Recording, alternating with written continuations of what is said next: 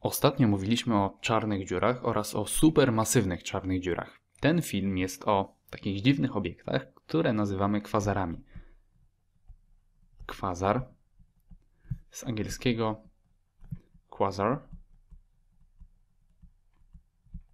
Ale dlaczego taka dziwna nazwa? No właśnie, od quasi stellar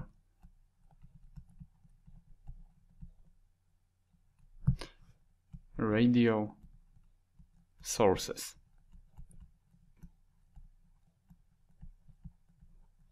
Co oznacza gwiazdopodobne, czy gwiazdopodobny obiekt, który jest źródłem promieniowania radiowego. Ale jak powstaje taki kwazar i czym tak naprawdę jest? No więc do powstania takiego kwazara potrzebujemy czarnej dziury,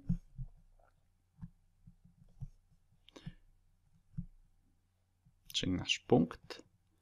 I wokół czarnej dziury znajduje się oczywiście horyzont zdarzeń, z którego nic, absolutnie nic nie jest w stanie uciec, tylko spada na czarną dziurę, nawet promieniowanie elektromagnetyczne, nawet światło.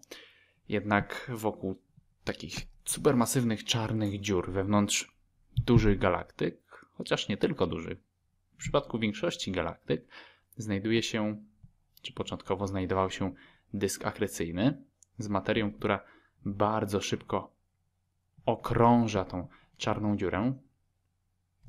Nie spada od razu, tylko okrąża do pewnego momentu, kiedy styka się, no właśnie, z horyzontem zdarzeń.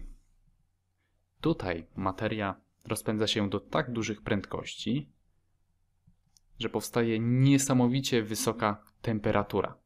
Ta temperatura i te ogromne prędkości powodują, że nasz obiekt po prostu świeci. Świeci niesamowicie jasno w każdym kierunku.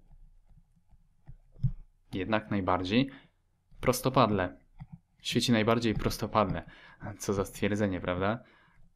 Najbardziej czy najwięcej energii emituje właśnie w kierunku prostopadłym do płaszczyzny tego dysku akrecyjnego, dlatego że te kierunki, które są równoległe, no w tych kierunkach energia wypromieniowana zostaje pochłonięta właśnie przez tą materię, która znajduje się w dysku akrecyjnym, a gdy energia czy promieniowanie ulatuje do góry, no to nie jest przez nic pochłaniane. Także musimy na takiego kwazara spojrzeć nieco z góry.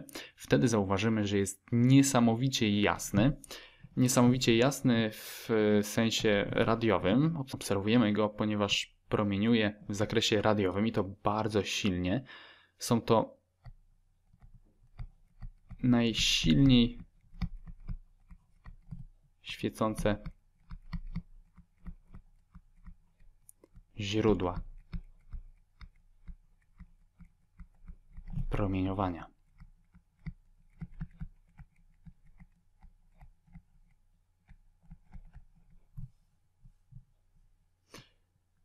Jednak co się stanie, kiedy materia, która krąży wokół czarnej dziury, całkowicie na nią spadnie? No właśnie, pozostanie galaktyka, czy reszta galaktyki, reszta materii, która ma dostatecznie dużą prędkość, aby nie spaść na czarną dziurę i po prostu ją okrąża. Wtedy mamy mniej aktywne jądro galaktyki. Najbliższy znany nam kwazar znajduje się w odległości 780 milionów lat świetlnych. Dlaczego ta odległość jest tak duża? No właśnie, dlatego że kwazary to obiekty bardzo stare, a w zasadzie obiekty, które już nie istnieją, dlatego że istniały wtedy, kiedy formował się wszechświat. Na początku powstawania wszechświata, kiedy formowało się wszystko, co nas otacza, a kwazar, którego obserwujemy, no właśnie ten, który znajduje się 780 milionów lat świetlnych od nas, tak naprawdę istniał właśnie wtedy, 780 milionów lat temu. Bo przebycie tej ogromnej odległości, jaka nas dzieli, zajmuje właśnie temu światłu tyle czasu. Więc kiedy my znajdujemy się tu, to mamy cały obserwowany wszechświat, kwazary znajdują się w dużej odległości od nas. No, przebycie tej odległości zajmuje światłu bardzo dużo czasu, to znaczy, że te obiekty istniały bardzo dawno temu, bardzo dawno temu w przeszłości, a to, że nie obserwujemy w niewielkiej odległości od nas kwazarów, to dowód na to, że one już nie istnieją.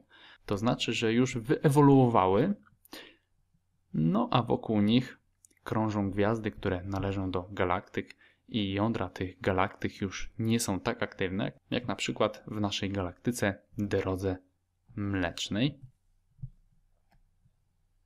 Supermasywna czarna dziura pochłonęła już dostatecznie dużo materii. Pozostała materia krąży na tyle szybko, że nie wpada już na czarną dziurę, nie wpada już na horyzont zdarzeń, czy do horyzontu zdarzeń.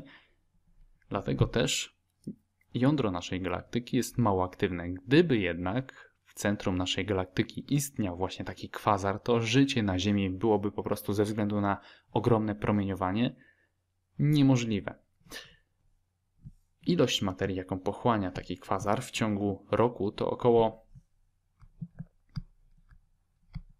tysiąca mas Słońca. Wyobraźcie sobie tysiąc takich słońc pochłanianych w ciągu roku. No to powiedzmy trzy słońca na dobę, prawda? Albo 10 mas Ziemi na sekundę. Wyobrażacie sobie? W ciągu sekundy 10 mas Ziemi taki kwazar pochłania i ta materia, właśnie ta materia, która wpada na czarną dziurę, powoduje emitowanie silnego promieniowania. I tak naprawdę to nie czarne dziury emitują promieniowanie, tylko to, co wpada na horyzont zdarzeń.